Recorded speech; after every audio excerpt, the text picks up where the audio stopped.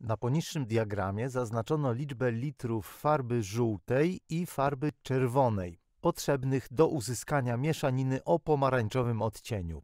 I widać na tym diagramie, że na każde 1, 2, 3, 4, 5, 6, 7, 8, 9, 10, 11, 12 litrów farby żółtej przypada 1, 2, 3, 4, 5, 6, 7, 8 litrów farby czerwonej. I pytanie jest takie. Ile wynosi stosunek objętości czerwonej farby do objętości całej farby w tej mieszaninie? Zatrzymajcie teraz film i spróbujcie najpierw sami to rozwiązać. No to po kolei. Zacznijmy od czerwonej farby. Czerwonej farby mamy 8 litrów.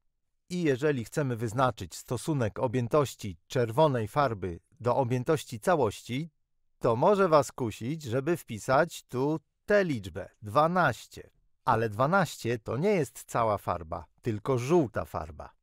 Objętość całej farby, przypadająca na każde 8 litrów czerwonej, to 8 litrów czerwonej plus 12 litrów żółtej.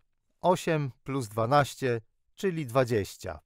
I taki jest stosunek tych objętości. Stosunek objętości czerwonej farby do objętości całej farby w tej mieszaninie. 8 do 20. Możemy to zapisać inaczej, albo nawet prościej. Możemy na przykład czerwoną część wykresu zamiast 8 litrów potraktować jako 4 grupy po 2 litry, bo 8 jest podzielne przez 4. Jeżeli 12 litrów również podzielimy na 4 grupy, to będą to 4 grupy po 3 litry. Jest to o tyle interesujące, że możemy teraz obydwie te liczby, te objętości w litrach, rozbić na grupy. I widać, że na każde 2 litry czerwonej farby przypadają 3 litry żółtej farby. Na każde 2 litry czerwonej farby przypadają 3 litry żółtej farby. 2 litry czerwonej, 3 litry żółtej. 2 litry czerwonej, 3 litry żółtej.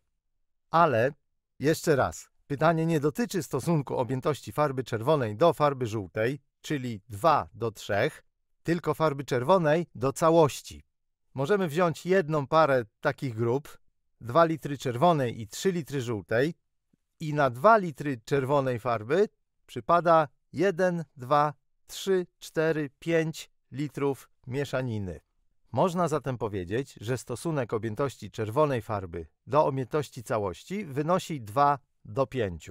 Na każde 2 litry czerwonej farby przypada 5 litrów mieszaniny. Mam nadzieję, że rozumiecie, dlaczego te dwa stosunki są równoważne. Jeżeli na każde 8 litrów czerwonej farby przypada 20 litrów mieszaniny, to jeżeli podzielimy te liczby przez 4, to na każde 2 litry czerwonej farby przypada 5 litrów mieszaniny.